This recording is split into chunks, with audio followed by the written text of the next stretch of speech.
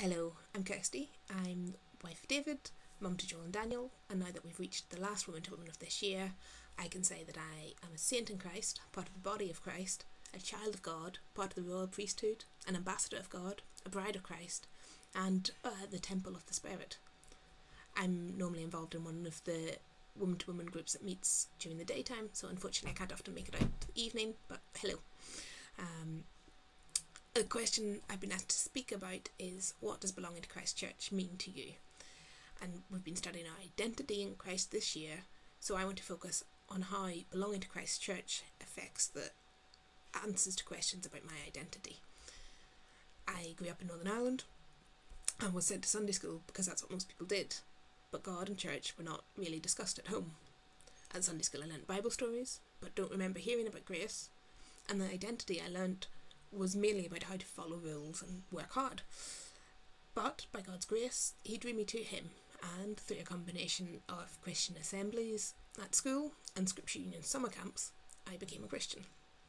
At first, I was a baby Christian and a teenage girl, so uh, struggled with questions of identity.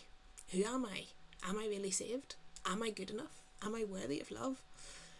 These questions have come up time and time again as I left home to study at university, lost my dad to cancer, got married, walked with my husband as he trained, and I works full time as a pastor, survived the junior doctor years, had kids, and started working as a GP in the midst of a COVID pandemic.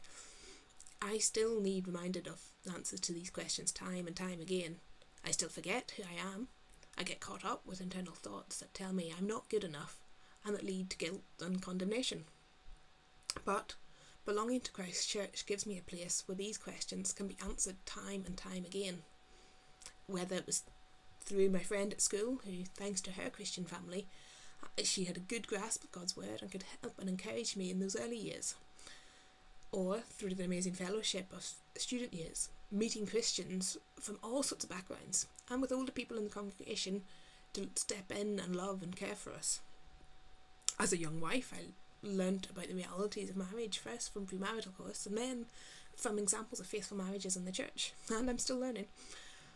And now as a mum, I learned so much from the mums who've been there and done that and survived, as well as from mums who have little ones of similar ages, but who will do things differently because their child is different and their family setup is different.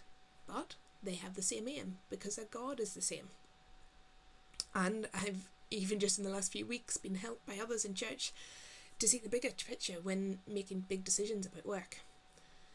So, belonging to Christ Church for me means a fellowship of believers, faithful Bible teaching, and worship that through the good times and the bad keeps reminding me of my identity in Christ. It allows me to live out my identity by serving others and reminding them of their identity in Christ. And it allows me to be served and encouraged. I'm so thankful to belong to Christ Church and I know that it is a gift from God and necessary for my spiritual health and growth. Thank you.